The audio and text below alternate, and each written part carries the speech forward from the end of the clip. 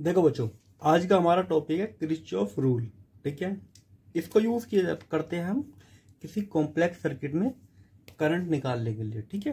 Current को कैसे calculate कर सकते हैं?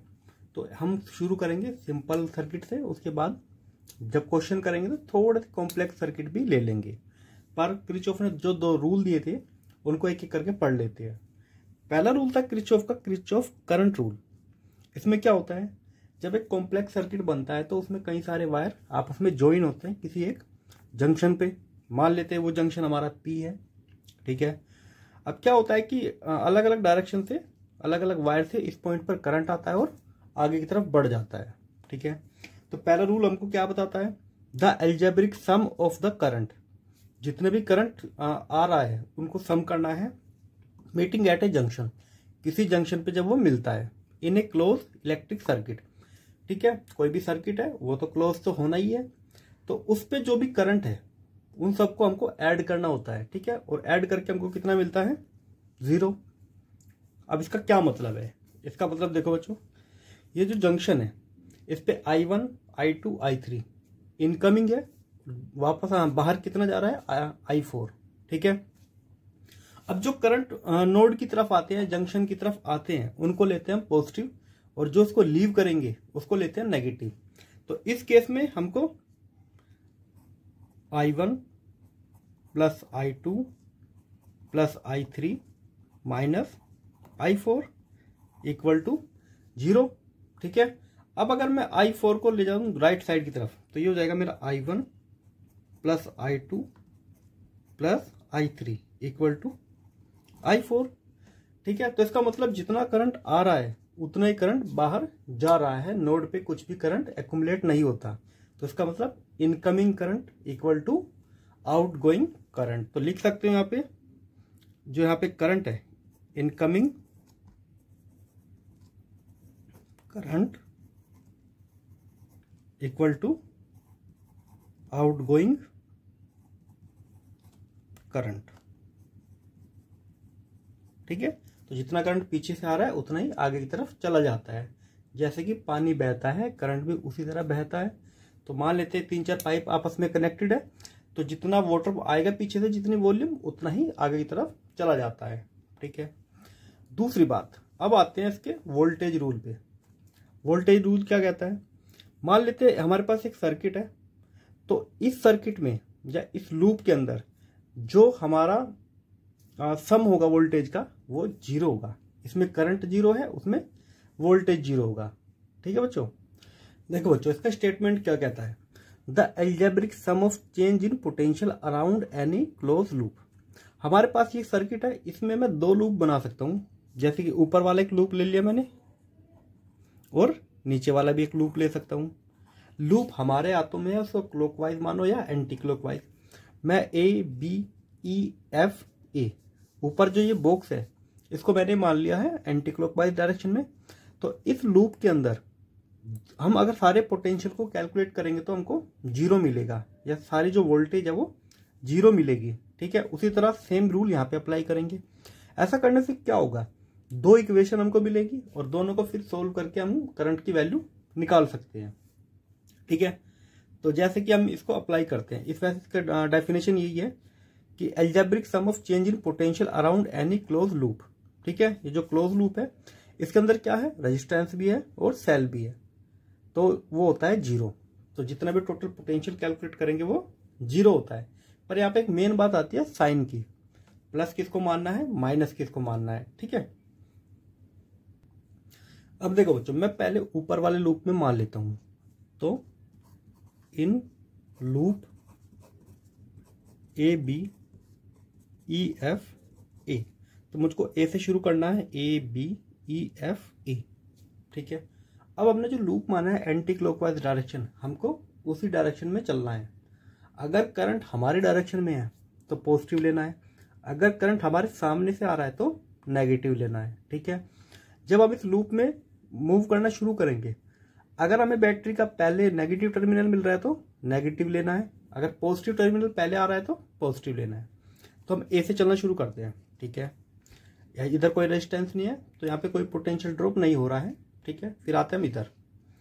हम जा रहे हैं ये हाँ करंट जो है हमारी सेम डायरेक्शन में है तो हमको लेना पड़ेगा पॉजिटिव तो पोटेंशियल कैसे बनता है? रजिस्टेंस मल्टीप्लाई करंट तो इस वाली आ, जो हमारा वायर है इसमें पोटेंशियल कैसे कैलकुलेट करेंगे?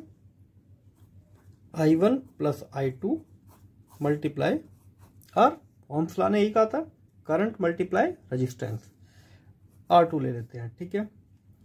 फिर आते हैं वापस, इस सेक्शन में कोई रेजिस्टेंस नहीं है तो छोड़ो, फिर आते हैं इधर। लूप और करंट दोनों सेम सेम डायरेक्शन में चल रहे हैं तो यहाँ पे भी लेना पड़ेगा plus I one R one ठीक है?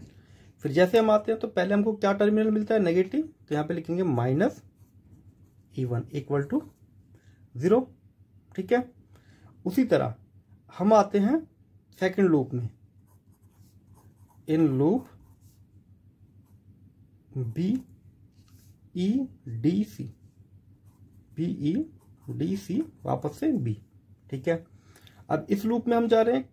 करंट और करंट और लूप हमारा सेम डायरेक्शन में है तो I one plus I two यहाँ पे हो गया आर टू ठीक है? फिर आएगा हमारा I two multiply R three फिर हमारे यहाँ फिर नेगेटिव मिल रहा है तो हमको I two equal to zero ठीक है? ये हो गया हमारा सेकंड तो आप लोगों को ऐसे ही करना है। ठीक है? अगर हम मान लेते हैं कि इन दोनों को, इस पूरे को अगर ऐड करें, ठीक है? तो ये हो जाएगा हमारा ई e वन और ई e टू कोई बात नहीं इसको यहाँ तक छोड़ते हैं। इसके बेस पे क्वेश्चन करते हैं। ठीक है? तब आपको सही से समझ में आएगा। देखो बच्चों मैंने उसी के जैसा एक सर्किट मान लिया, पर मैंने अब की बार यहाँ पे वैल्यूज़ रख दी है यहाँ पे पाँच वोल्ट की बैटरी है, यहाँ पे रेजिस्टेंस वन ओम है, यहाँ पे दस वोल्ट की बैटरी है और रेजिस्टेंस वन ओम और बीच में जो रेजिस्टेंस है वो दो ओम का है। अब हमको आई वन और आई टू की वैल्यू कैलकुलेट करनी है, कितने यहाँ पे करंट हर बैटरी से निकल रहा है, ठीक है? ये फ़र्स्ट लूप हमने वही उसी तरह मानेंगे। इसको मानेंगे हम एंटी क्लॉकवाइज डायरेक्शन में और इसको क्लॉकवाइज डायरेक्शन में, ठीक है? तो in loop A B E F A तो ए बी ई एफ़ ए इस लूप में आ गए। सबसे पहले हम जब यहाँ से शुरू करते हैं तो दोनों सेम डायरेक्शन में है। तो यहाँ पे आएगा two multiply I one plus I two फिर इधर जाते हैं। दोनों सेम डायरेक्शन में करंट और लूप हमारा। तो वन मल्टीप्लाई आई वन ठीक है? पहले नेगेटिव टर्मिनल मिल रहा है तो माइनस के फाइव इक्वल टू ज़ीरो इसको सोल्व कर लेते हैं तो ये आएगा two I one plus two I two plus I one equal to five दो और एक हो जाएगा तीन। Three I one plus two I two equal to five ये हो गई हमारी फ़र्स्ट इक्वेशन ठीक है? सेम इसी तरह हमको दूसरी इक्वेशन लगानी है और फिर इनको सोल्व कर लेना है। अब आते हैं। In loop B C D E B B C D E B चलो। एक सेकंड एक सेकंड उल्टा ले लिया हमने बी ई डी सी तो यहाँ पे मानो उसको ई e और ये हो गया हमारा सी ठीक है? अब सेम डायरेक्शन में है तो हमारा लूप भी इसी डायरेक्शन में जा रहा है और करंट भी। तो two I one plus I two ये सेम डायरेक्शन में तो आई आई टू क्योंकि वन ओम का रेजिस्टेंस है। अब हमको पहले मिलता है नेगेटिव टर्मिनल तो minus ten equal to zero same करेंगे। Two I one plus two I two plus I two equal to ten, ठीक है? तो ये हो जाएगा हमारा दो और एक तीन, two I one plus three I two equal to ten. ये हो गई हमारी सेकंड इक्वेशन अब हमें क्या करना है? हमें इनको सोल्व करना है, ठीक है बच्चों? अब इनको सोल्व करने के लिए वही हमारे जो पुराने मेथड होते हैं, किसी एक कोफिशियंट को बराबर करना है तो मैं इसमें मल्टीप्लाई कर देता हूँ टू की। और इसमें मल्टीप्लाई कर देता हूँ। थ्री की।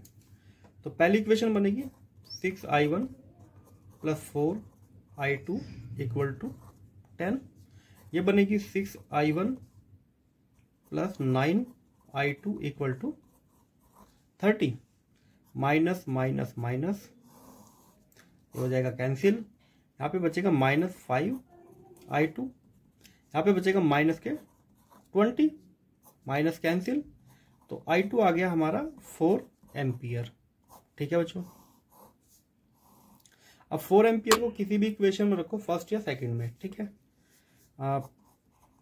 पुट इन वन वन में पुट करेंगे तो three I one plus two ये हो गई हमारी फोर इक्वल टू फाइव तो three I one plus eight equal to five eight उधर जाएगा तो three I one equal to minus के थ्री तो आई वन आएगा हमारा माइनस वन एम्पियर अब इसका क्या मतलब है? एक करंट पॉजिटिव आया, एक नेगेटिव आया। पॉजिटिव का मतलब है, हमने जो डायरेक्शन आई टू की मानी है, वो बिल्कुल ठीक है। पर जो आई वन की डायरेक्शन हमने डिनोट की है सर्किट में, उससे उल्टी डायरेक्शन में करंट फ्लो रहा है, ठीक है? जैसे कि, देखो बच्चों। हमारी आई टू की डायरेक्शन ठीक है। आई टू किधर जा रहा है? हाँ। आई टू की डायरेक्शन जो इस बैटरी से करंट निकलता है, वो तो ठीक निकलता है। पर जो आई वन की डायरेक्शन है, वो ऐसे नहीं है।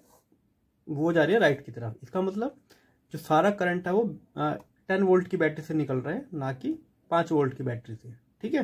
क्योंकि बिगर बैटरी है तो करंट इसी से निकलेगा। जैसे कि मैंने पहले बताया था, ये इनके दोनों के पॉजिटिव टर्मिनल ज्वाइन हो रहे हैं ना तो जो बिगर बैटरी होती है करंट उसी से निकलता है। तो करंट इस बैटरी के अंदर जा रहा है, ना कि इस बैटरी से बाहर आ रहा है, ठीक है? तो इसलिए यहाँ पे जो आई वन का साइन आया है, वो नेगेटिव वन एम्पियर आया है। तो इस क्रिस्टोफ रूल का यूज़ करके हम कॉम्प्लेक्स सर्किट को भी सोल्व कर सकते हैं, ठीक है? जब हम इसके और क्वेश्चन करेंगे तो आगे और इसके बारे में देखते हैं, ठीक है बच्चों? तो इसका स्क्रीनशॉट ले सकते हो आप और इसका भी। ठीक है? तो मिलते हैं अगली वीडियो में। इसका एक क्वेश्चन हम और करते हैं। ठीक है बच्चों? चलो आज के लिए हाँ, इस वीडियो में इतना ही। मिलते हैं अपने नेक्स्ट वीडियो में।